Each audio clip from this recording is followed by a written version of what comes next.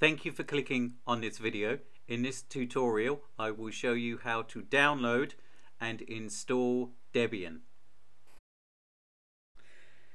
I will show you the manual install. This means I will make three partitions. Partition 1 will have the boot flag and use ext4. The second partition will be the home partition and will be the largest of the three partitions and we'll also use ext4. The third partition, which needs to be a little bigger than twice the size of your RAM, is the swap partition. All three partitions will be primary. Once you get to the Debian website, and I'll give you a link to this website in my blog, um, take a look at the different types that you can have here. There, there are there are a few more, but the, these are the basic ones.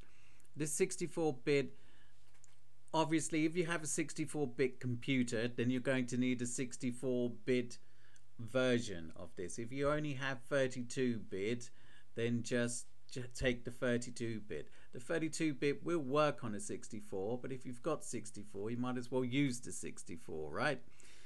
This net install basically means you have a smaller set of files that you have to download, but when you do the install, you will have to go to the internet to pick up some more files that you, you need.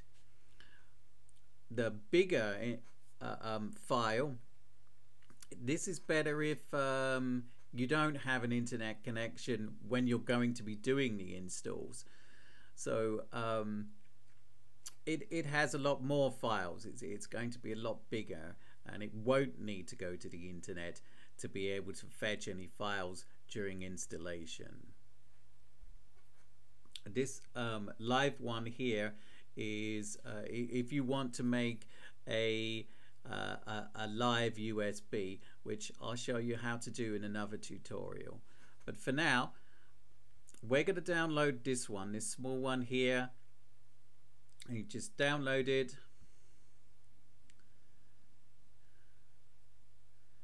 Wait for that to download and then as soon as it's downloaded we can get on with the installation. The first thing we need to do is to start Parallels.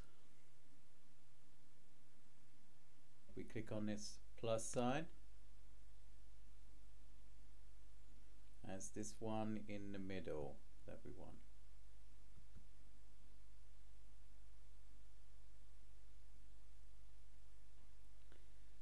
We're going to do this uh, net install. So find it and then select it. Give it a name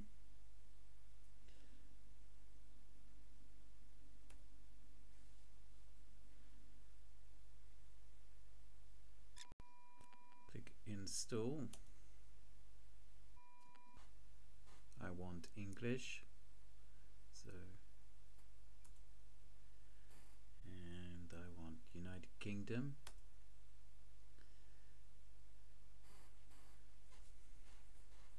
And I'm going to choose the British English.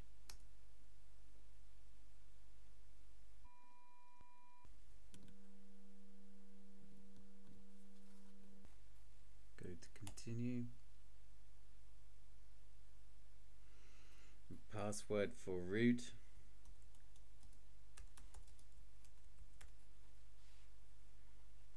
And then continue. We enter the password.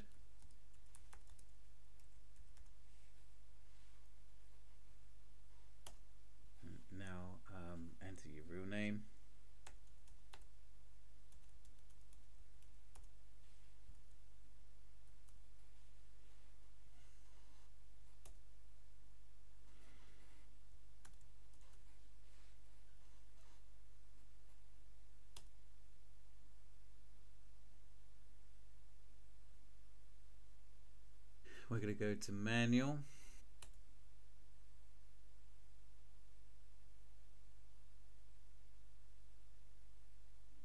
And select this one. And select yes. Choose the one that is free space.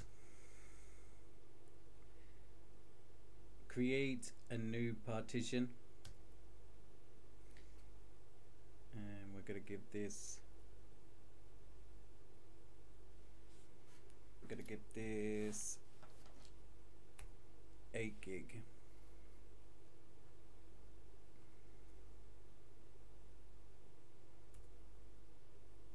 I'm to make it primary.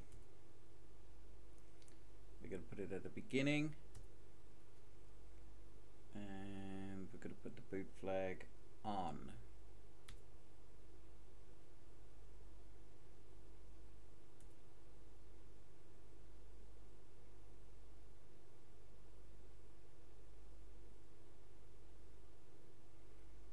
okay now we're going to move on to uh, the next one. So we'll go back to the free space select that create a new partition. And we're going to make this. We're going to make it 55.7 we continue primary. And we're going to put that at the beginning um, done setting up partition. Now we've just got the 5 gig left. And I'm gonna make this um, a swap partition. So we're gonna create I'm gonna leave that size as it is. Make it primary. And we're gonna make this swap area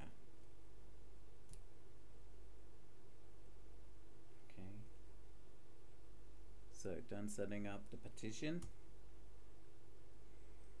Just have a, a, a little check. Um,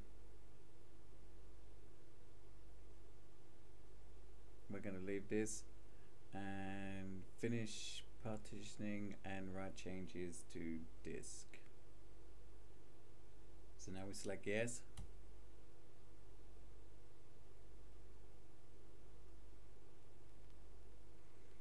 This could take a little while. Okay, so you, you need to select uh, the country that you're in, basically. Okay, so I'm in the United Kingdom, so this will be just fine for me.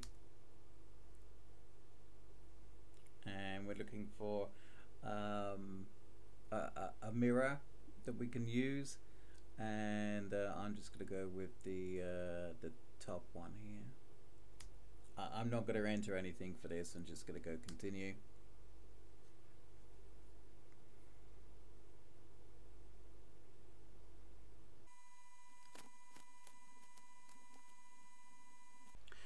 This is asking you if you want to participate in a survey. It will send information about what you're doing. Next, you need to choose which kind of desktop you want. If you don't know which one to choose, I recommend going for GNOME or Mate just to get you started.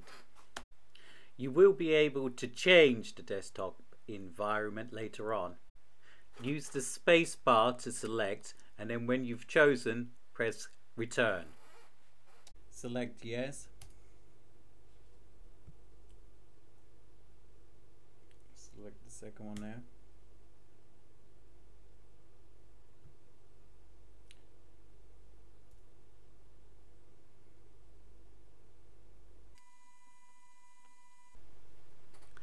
Enter your password to log in. Congratulations, you have now installed Debian. Uh, in the next tutorial, I will show you how to change the desktop so that you can have different types of desktop such as KDE, Cinnamon or Mate.